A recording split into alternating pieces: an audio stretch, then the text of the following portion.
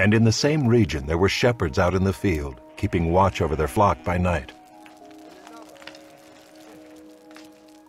And an angel of the Lord appeared to them, and the glory of the Lord shone around them, and they were filled with great fear.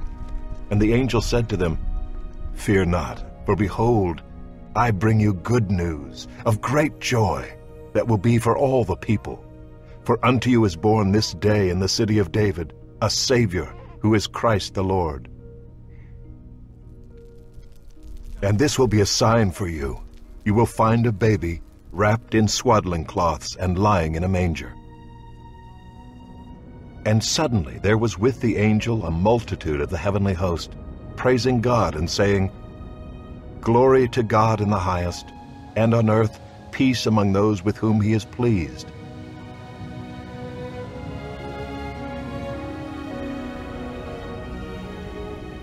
When the angels went away from them into heaven, the shepherds said to one another, Let us go over to Bethlehem and see this thing that has happened, which the Lord has made known to us.